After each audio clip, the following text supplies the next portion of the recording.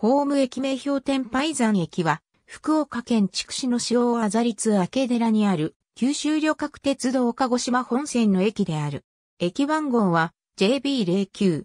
相対式ホーム2面2線を有し、東側のみに駅舎及び改札口を持つ地上駅である。互いのホームは古線橋で連絡しているがエレベーターはないため、階段での移動となる。JR 九州鉄道営業が駅業務を行う業務委託駅であり、早朝や夜間は駅員が不在となる。マルスはないが、ポス端末が設置されている。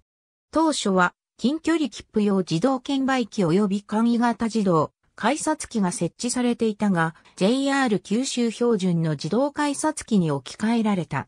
主語化の利用が可能であるが、販売は行われておらず、チャージのみ取り扱う。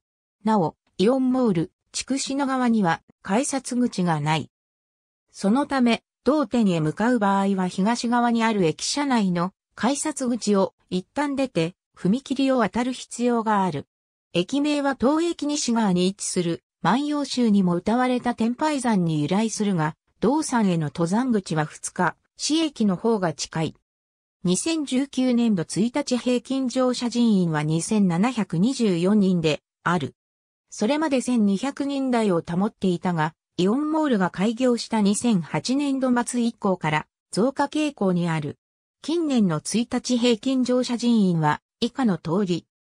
駅前にバス停はなく、西鉄バスは朝倉街道駅前にある朝倉街道バス停もしくはイオンモール、筑紫の内にあるイオンモール筑紫のバス停が最寄りで、筑紫の市コミュニティバス、筑紫号は旧3号線上の福岡大学筑紫病院前にある、福大筑紫病院バス停が最寄り。